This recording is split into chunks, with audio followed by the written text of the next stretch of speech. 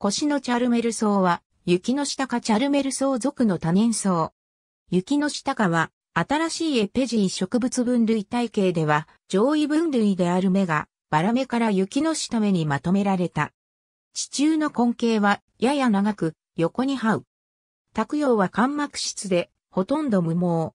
根質葉は、束製し、葉柄は、長さ3から10センチメートルになり、曲がった長毛が密生するが、単線毛は、ほとんどない。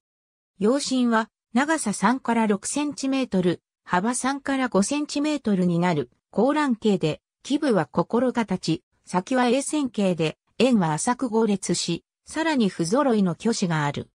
葉の両面に白色の長毛が生える。夏季は4から5月。花茎は高さ20から50センチメートルになり、下部には曲がった長毛が、上部と花柄には白色の単線毛が密生する。先に相乗果樹をつけ、20個前後の花が互生する。学頭は浅い等円錐形、学列片は5個あり、高三角形で、花時に平ら回するか外曲する。花弁は高視色で5個あり、右上に細く5から9列し、列片に先天があり、魚の骨状に見える。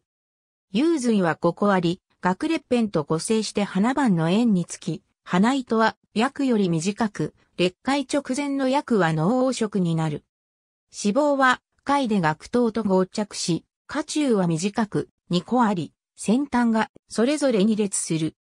果実は果てで、種子は楕円型で、長さ約 1mm になり、褐色になる。日本固有種。